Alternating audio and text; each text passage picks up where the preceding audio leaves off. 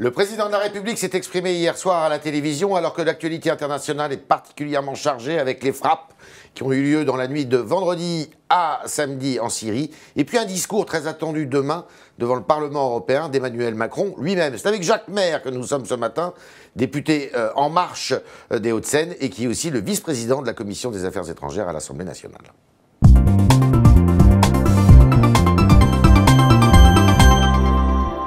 Jacques Maire, bonjour. Bonjour. Bienvenue dans les locaux du Figaro. Merci. Alors, il y a eu cette interview hier, euh, ou ce débat, euh, il y a débat, euh, à la télévision du président de la République. Beaucoup d'observateurs ont été choqués par la forme, notamment.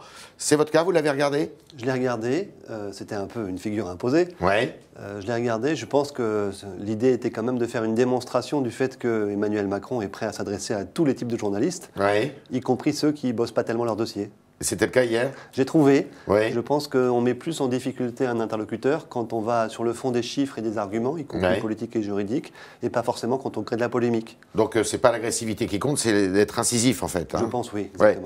Euh, C'était d'ailleurs plus un débat qu'une interview, non? C'était un débat parce qu'il y avait des postures un petit peu militantes euh, de l'autre côté. Et c'est vrai qu'on a plutôt affaire à une, comment dire, à une presse d'opinion, dans Mhm. le cas de- d'Edoui Planel. Et puis, euh, dans le cas de Jean-Jacques Bourdin, plutôt euh, côté euh, radio-trottoir. Ouais, d'accord. Et c'était utile que le président de la République fasse ça, puisque quelques jours avant, il, il- il s'était livré une interview avec, avec, sur TF1 avec M. Pernaud. Alors, je n'ai pas vu l'interview avec Ouais. M. Pernaud. Je pense que l'interview d'hier restera pas forcément dans l'histoire du Ouais. point de vue de son contenu, parce qu'il n'y Mhm. a pas eu des choses extrêmement nouvelles par Ouais. rapport à ce qu'on connaît de la politique du président. En revanche, elle restera probablement comme un moment peut-être de désacralisation de la fonction présidentielle, Ouais. pour le meilleur et pour le pire. Et ça, c'est dangereux, c'est dangereux, ça. Il ne faut pas désacraliser la fonction. Il faut la relativiser un peu, c'est Oui, normal, mais oui. en même temps, euh, bah, on, on a- on s'adresse à une personne et à une institution. Oui. Donc on doit respecter l'institution. D'accord. OK. Euh, vous approuvez l'intervention de la nuit euh, de vendredi à samedi en Syrie, des frappes françaises avec les Britanniques et avec les Américains? Oui, bien sûr. Oui? Ouais. Elle était légitime. Le président de la République, hier, s'est développé là-dessus, a développé en disant c'est légitime même s'il n'avait pas de mandat de l'ONU. On peut être légitime sans mandat de l'ONU? Alors d'abord, il n'y a pas de mandat de l'ONU au sens euh, de l'action immédiate qui a été entreprise. Oui. En revanche, il y a un cadre juridique dans les résolutions du Conseil de sécurité qui effectivement induit la possibilité du recours à la force Mhm. quand il y a une violation en Syrie de l'interdiction des armes chimiques Oui. de la part du gouvernement. Ce qui était le cas. Mhm. Euh, ces résolutions étaient relativement anciennes, elles ont été répétées, Mhm. et c'est vrai que de ce point de vue, euh, la majorité du Conseil de sécurité, de ses membres permanents, n'a pas souhaité avoir un droit de veto encore additionnel de la part des Russes. Oui. Vous savez que les Russes ont quand même, euh, je dirais, bloqué 12 euh, résolutions sur le sujet Oui. euh, sur ces dernières périodes, Oui. et que, euh, au bout d'un moment, est-ce que le crime paye ou pas? Mais vous, député, comment vous avez la preuve que, un, il y avait bien des armes chimiques, et deux, que les cibles visées par les Alliés ont bien été touchées? Bon, euh, il y a une documentation assez importante qui a été rendue publique sur le site du Quai d'Orsay, Oui. euh, de 8 pages. Mais qui peut vous raconter aussi ce qu'ils veulent, le site du Quai d'Orsay Oui, mais on n'est pas dans la, dé- enfin, on pas dans un gouvernement avec, il n'y a pas de Goebbels, je veux dire, on n'est pas Ouais. dans un envi- Dans la propagande. Un environnement de propagande. On est sur une approche qui est basée sur des faits, Mhm. sur des présomptions, sur des indices, sur des Mhm. faisceaux, Mhm. qui sont vraiment dans la, dans la, je dirais, dans la, la transparence. Ouais. Donc sur ce plan-là, euh, nous, on est convaincus. Euh, Peut-être un élément quand même qui montre qu'il y a de la manipulation en face. Euh, depuis novembre, euh, la Russie a interdit euh, le fait que le mécanisme de Joint Investigation Mechanism, le JIM, qui existait pour Ouais. à la fois regarder s'il y avait eu attaque chimique et deuxièmement regarder d'où cela provenait, Ouais. depuis novembre, la Russie a interdit ce dispositif pour aller jusqu'à l'identification des responsables. Ouais. Depuis de- novembre, les attaques se sont multipliées sur le terrain, sur le plan chimique, depuis, depuis maintenant six mois. Voilà. Il y a eu plusieurs, plusieurs, euh, Non, on en a- plusieurs attaques chimiques Oui, bien sûr, on en a parlé très régulièrement. Et le but d'ailleurs de l'attaque, de la, répression qui a eu lieu le week-end dernier, elle est, c'est pas un but symbolique, c'est d'empêcher ces attaques à nouveau dans les jours et les semaines qui viennent. Donc le président de la République a dit on n'est pas rentré en guerre. Le but, alors vous allez nous faire une explication de texte, construire ce qu'on appelle une solution politique inclusive. Ça veut dire quoi? Ça veut dire que la Syrie est un pays divisé, euh, Oui. dans lequel il y a, euh, je dirais, une majorité sunnite, des Kurdes, des chiites de différentes catégories, des chrétiens aussi. Mhm. il y a évidemment le souhait de la part de certains acteurs, pas de tous, de redonner une forme étatique globale à la Syrie. La différence peut-être entre la, France, les Occidentaux et d'autres, c'est qu'il faut que cette forme de étatique puisse respecter le droit à exister de chacun. Mhm. y compris Bachar el-Assad? Bachar el-Assad, je dirais, représente une partie de l'opinion. Une partie qui n'est pas du tout négligeable. La mhm. preuve, c'est qu'il a réussi à se maintenir sur le terrain. Mhm. En revanche, est-ce qu'à partir de Bachar el-Assad, on peut créer le consensus pour reconstruire la Syrie? On peut reconstruire la Syrie avec lui? Je ne pense pas. Je ne pense pas qu'on le fasse sans lui. D'accord. Euh, je ne pense pas que ce soit possible aujourd'hui d'engager des négociations en faisant. Pourquoi? Parce qu'il a gagné sur le terrain. Et pourquoi il a gagné? Parce qu'il a l'appui des Russes et l'appui des Iraniens. D'accord. Après, leur, leur euh, je veux dire, parti pris entre Russes et Iraniens n'est pas du tout le même. D'un côté, vous avez la Russie qui aimerait bien avoir son État satellite qui lui permette d'avoir un accès à la Méditerranée comme toujours avec Tartous. Et de l'autre côté, vous avez un État iranien qui joue beaucoup plus la déstabilisation, les milices et le fait d'avancer ses pions dans un environnement qui est devenu complètement ingérable. Est-ce que le but premier, c'est de détruire Daesh ou de, euh, enfin d'éliminer le régime de Bachar el-Assad? Le but premier, tout cas pour la France et pour la coalition, c'est vraiment de détruire Daesh. D'accord. Maintenant, la condition de ne pas faire ressurgir une nouvelle génération euh, d'islamistes terroristes, mmh. c'est quand même de donner un cadre, je dirais, euh, stabilisé à la Syrie. Alors, Donald Trump euh, menace régulièrement, enfin, je ne sais pas si c'est une menace, mais enfin, dit régulièrement qu'il veut retirer ses troupes. Il y a beaucoup de forces spéciales américaines de Syrie. hier, le président de la République a dit qu'il avait eu le président américain au téléphone et qu'il avait réussi à le persuader de laisser ses troupes sur place. Vous en avez la garantie de ça On n'en a pas la garantie, mais quand on regarde le mode de fonctionnement des Américains, on voit bien souvent que euh, ce qui va se passer relève plus des déclarations du ministre de la Défense ou du secrétaire d'État que du président lui-même. D'accord. Donc là, on n'en sait trop rien. Euh, Monsieur Sullivan, le nouveau secrétaire d'État, je dirais, est arrivé il n'y a pas très longtemps lui-même. Il, a remplacé euh, au pied levé M. Tillerson qui s'est fait dégager par un tweet depuis l'Afrique la stabilité de la position américaine n'est quand même pas facile à anticiper. C'est un, allié compliqué, les Américains, dans cette histoire C'est un allié, définitivement. Oui. C'est un allié qui n'est pas lisible aujourd'hui. Mais on peut rien faire sans les Américains en Syrie On peut absolument rien faire sans les Américains en Vous Syrie. Vous êtes d'accord avec ça? Ni contre, d'ailleurs. D'accord. Euh, il y a un débat, donc cet après-midi à l'Assemblée nationale. Alors c'est un peu étrange, comme souvent d'ailleurs euh, en France. Ce débat, il a lieu après euh, eh bien, les frappes, après l'action, et il est sans vote. Oui, c'est la Constitution qu'il dispose. Alors pourquoi ne pas changer la Constitution puisqu'il y a une réforme constitutionnelle qui se profile? Alors, la question ne lui a pas posé, été posée hier. Elle aurait pu lui être posée d'ailleurs. Bah oui. Euh, c'est vrai qu'aujourd'hui, le dispositif, d'ailleurs qui n'est pas si vieux que ça, hein, qui date de Sarkozy, hein, prévoit euh, un débat au bout de trois jours, d'abord une information puis un débat, et ensuite, plusieurs mois après, trois ou quatre mois après, je ne sais plus, euh, un vote sur la continuation ou pas. Bon, je pense que là-dessus, le dispositif de la Ve République, il a quand même un énorme avantage, c'est la capacité d'être premier entrant. Mhm. Concrètement, ça veut dire aujourd'hui que le président, ce qui n'est pas le cas de beaucoup de présidents, en tout cas c'est plus le cas de l'anglais, c'est pas le cas de l'allemand et d'autres, peut, en cas d'urgence, faire en sorte de prendre des positions opérationnelles. C'est l'urgence qui explique cette disposition qui fait que le président n'est pas obligé d'en rendre compte euh, la à la représentation nationale? C'est la possibilité d'avoir une action de la part de l'exécutif qui soit rapide et qui ne soit pas contrainte par la nécessité d'un consensus. Et il faut garder ce, cadre-là Alors pour moi, c'est un énorme avantage, oui. parce que euh, ceux qui l'ont, en général, ce ne sont pas les démocraties, ce sont les États totalitaires ou les États autoritaires.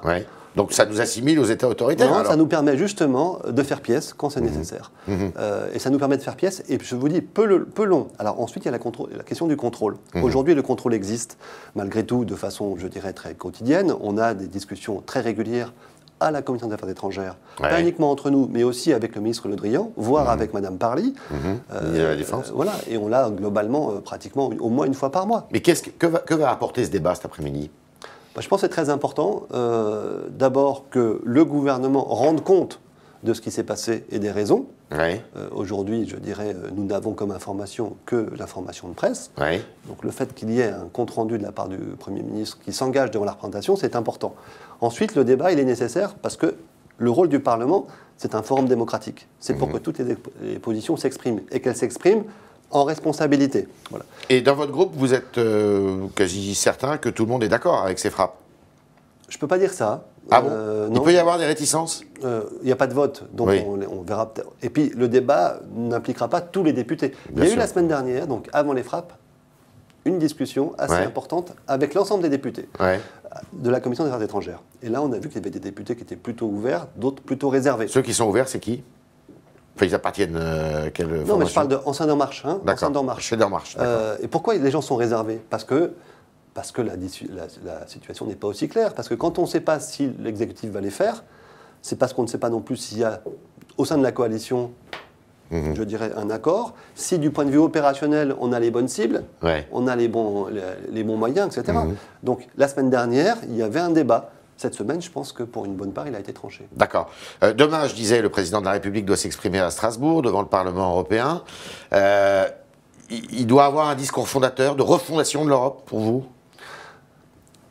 Je pense qu'il faut faire attention. Euh, la France a pris beaucoup d'avance dans le débat depuis maintenant un an. Mais il manque les actes aussi. avec le maintenant, discours d'Athènes Ouais. et avec le discours de la Sorbonne, hein. Ouais. où il a vraiment donné une ampleur au, au projet, avec malgré tout une forme très pragmatique d'Europe à la carte, en disant voilà l'ensemble du champ de nos ambitions communes possibles, maintenant construisons dans cet agenda, avec les uns les autres, ce sur quoi nous sommes d'accord. D'accord. Le problème qu'on a, il est bien simple, c'est que ce discours a été fait en septembre, et que depuis, il y a eu une absence quasi totale des Allemands. Oui, pour des Et- raisons électorales. Voilà, qu'on peut comprendre, c'est leur problème institutionnel. Et maintenant, Italiens une, aussi. Mmh. une disparition des Italiens depuis quelques mois.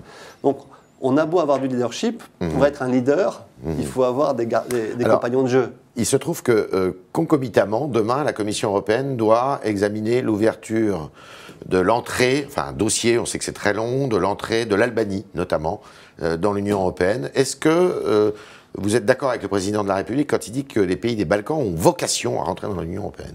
Bah, c'est certain, euh, ils l'ont sur le plan simplement géographique, Ouais. euh, et ils l'ont aussi sur le plan politique. C'est-à-dire que euh, quelle raison fait qu'aujourd'hui la, la Slovénie, par exemple, et la Bulgarie le sont, alors que la Macédoine ne le serait pas? Ouais. C'est une question de maturation, Ouais. une question de préparation. C'est pas urgent. C'est pas urgent Non. Avoir vocation, ça ne veut pas dire pouvoir le faire, euh, Ouais.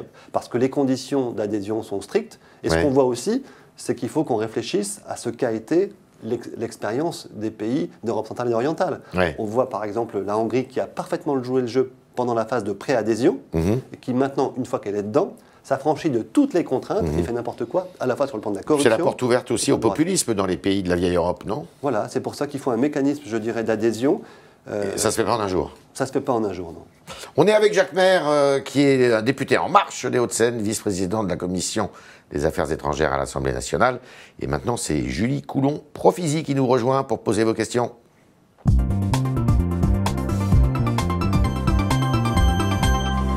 Bonjour Julie. Bonjour Yves, bonjour Jacques Maire.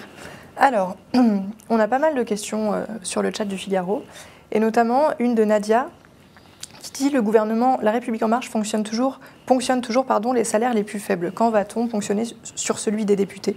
Président des riches, c'est ça? C'est ça. Alors, non, les salaires les plus, les plus faibles ont fait l'objet d'un allègement de, de CSG. Euh, D'ailleurs, tous les salaires, euh, y compris les plus faibles. Le CICE va être transformé de façon permanente en allègement de charges. Donc, ça rend quand même le travail pour les bas salaires plus intéressant. Maintenant, pour les députés, écoutez, c'est c'est bien simple. Les députés, le salaire n'a pas bougé. C'est le même depuis des années. La partie des frais qui avait parfois un, statut un petit peu, je dirais, euh, ambigu, a été complètement passée du côté des frais professionnels D'accord. avec vérification comptable, expert comptable, etc. Et la retraite Et la retraite, pour tous, elle est devenue celle du régime général, Bon. en anticipation d'autres régimes spéciaux qui existent. Donc c'est moins intéressant d'être député aujourd'hui qu'hier. Ah bah, je pense que pas mal de, je dirais, de, de- de- de- de personnes qui découvrent la fonction de député aujourd'hui, quand on leur dit la réalité de l'exercice de la fonction, sont un peu étonnées. Autre question. Alors, autre question de François. Pensez-vous que l'absence de mairie euh, La République en marche puisse être une faiblesse pour relayer les réformes sur le terrain? Oui, bien sûr. Je pense qu'on a besoin, euh, je dirais, de constituer une génération d'élus locaux Ouais. qui ont les pieds sur le terrain. Il y a quelques mairies en marche, mais elles sont très peu nombreuses. Mhm. Et l'objectif, effectivement, c'est de donner un ancrage territorial. Euh, et ça fera beaucoup de bien, effectivement, d'avoir pas uniquement des élus nationaux, mais aussi des élus locaux. Mais on, on reproche déjà aux députés En Marche d'être un peu euh, absents dans leur circonscription. hein. Non, je pense pas. Non Euh, Je pense que ça, c'est vraiment. Vous labourez le terrain? On laboure le terrain, mais dans un contexte qui est totalement nouveau. C'est-à-dire, on n'est pas cumulard. Donc notre Ouais. présence sur le terrain, c'est pas le service public local du logement euh, ou de l'assistance à l'école. Mhm. Mais en revanche, on essaye de faire un métier qui n'existait pas, faire vivre les débats politiques nationaux sur le terrain. Sur le terrain. Et ça, c'est quelque chose Sans qui passe par beau- local. voilà, beaucoup de consultations, des participations citoyennes, des ateliers, enfin, des formes très très nouvelles, bien sûr. Donc une question de Jérôme qui veut savoir, donc euh, Nice lance son expérimentation de policiers municipaux dans les écoles. Qu'est-ce que vous en pensez? Est-ce que c'est une bonne idée? Est-ce qu'il faut des policiers municipaux dans les écoles? A priori, non. Euh, je trouve que ce n'est pas le lieu d'avoir de la police. S'il y a par hasard, euh, dans un environnement donné, une situation sécuritaire telle que c'est la seule solution, je veux dire, soyons pragmatiques. Il faut être pragmatique. Euh, donc les vélos en libre service qui ont fait leur apparition il y a quelques mois euh, dans la région parisienne euh, commencent un peu à gêner les piétons, les, enfin même géné- généralement les habitants de l'Île-de-France. Que compte faire le département des Hauts-de-Seine à propos de ça? Ah, ça, je, je ne suis pas élu des Hauts-de-Seine, Ouais. donc j'en ai pas idée. Enfin, vous êtes élu nationalement. Voilà, Oui. je suis, je suis pas euh, membre du conseil départemental, ni même élu local. Ce que je vois quand même, c'est qu'il y a une vraie, euh, un vrai appétit pour le vélo. Mhm. Euh, non seulement du point de vue euh, de Vélib, mais du point de vue aussi des, des pistes cyclables, de l'organisation des transports. Ça, ça s'organise. Euh, ce qui n'est pas possible, c'est effectivement les situations dans lesquelles il y a des vélos, des vélos poubelles qui se, qui s'am- voilà, qui s'amoncellent dans tel ou tel endroit, parce qu'effectivement, tout ce qui n'est pas organisé euh, dans une grande métropole ne marche pas. Il y a une bonne question de Nadia là. Oui, une bonne question de Nadia euh, qui dit on en a marre de travailler pour les autres, stop aux demandes d'asile. Quand cela va-t-il s'arrêter? Alors, il y a la loi Asile et Immigration qui vient ce soir à l'Assemblée nationale en formation plénière. C'est une loi que vous allez voter, vous? Oui, Elle fait beaucoup débat à l'intérieur de votre groupe. hein. Elle fait beaucoup débat à l'intérieur de notre groupe et pour des raisons qui sont légitimes, à savoir euh, comment trouver le- la bonne mesure entre un droit, c'est-à-dire le droit d'asile, c'est un droit imprescriptible, Mhm. qui est une obligation internationale, Convention de Genève, et qui fait que toute personne qui est globalement euh, poursuivie, euh, maltraitée pour des raisons qui sont liées euh, à sa personne elle-même, à son opinion, euh, peut trouver asile en France. Ça date de 89, c'est- c'est dans l'identité française. Mais c'est aussi une politique publique. Et donc un droit qui est mal organisé, euh, je dirais un droit d'asile théorique dans lequel il n'y a pas d'accompagnement, pas d'hébergement, etc., c- ça marche mal. Euh, un droit sur lequel, pour pouvoir se faire enregistrer, il faut 14 mois. C'est pas 14 mois d'études et de qualité, c'est 14 mois d'immenses attentes administratives pour rien, du fait d'une désorganisation. Ça, ça marche pas. Il faut améliorer le dispositif? Bien sûr, oui. Est-ce que ce dispositif euh, est la garantie que ceux qui sont déboutés du droit d'asile seront reconduits dans leur pays? C'est un des objectifs principaux. Euh, Vous y croyez à ça? Alors, moi, je pense que ça peut pas être. D'abord, c'est important d'avoir un taux de retour, je dirais, qui soit plus important qu'aujourd'hui, parce Ouais. qu'aujourd'hui, c'est une espèce de déni, finalement. bien sûr. Euh, Ça demande un effort politique et diplomatique très important vis-à-vis Ouais. des pays d'origine. Ça demande aussi beaucoup de travail avec eux. Et de ce point de vue, il y a un besoin euh, de faire en sorte d'améliorer notre coopération, notre présence, y compris notre aide au développement, pour Ouais. faire en sorte que ce deal soit acceptable. Mais le deuxième élément qui est très important, et là, je porte un amendement sur la question, c'est la prévention des arrivées et la, négo- et la discussion et la coordination de l'action entre pays d'o- d'origine, par Ouais. exemple le Golfe du Guinée, et pays de transit, Ouais. par exemple Mali, Niger. Ouais. Sur ce travail-là, la France et l'Europe font beaucoup, mais nos opérateurs, comme l'OFI, ne travaillent que sur le retour depuis le territoire national vers le pays d'origine. Ouais. Et il y a un Pas par les, amendement. les pays intermédiaires. Voilà, et donc l'amendement que je porte et qui a été repris par le gouvernement permettra effectivement de faire travailler ensemble les pays de transit et d'origine pour ne pas avoir des gens qui arrivent jusqu'au Sahara et jusqu'en Méditerranée et qui en meurent. D'accord. C'est un des amendements que vous avez déposés. Il va être euh, adopté vous Le gouvernement l'a repris à son compte. D'accord. On était avec Jacques Maire ce matin. Merci Jacques Maire, euh, député des Hauts-de-Seine, qui nous a parlé évidemment de l'entretien d'hier et puis euh, eh bien des actions extérieures de la France. Merci Julie et merci à vous. Et puis à demain pour de nouvelles aventures.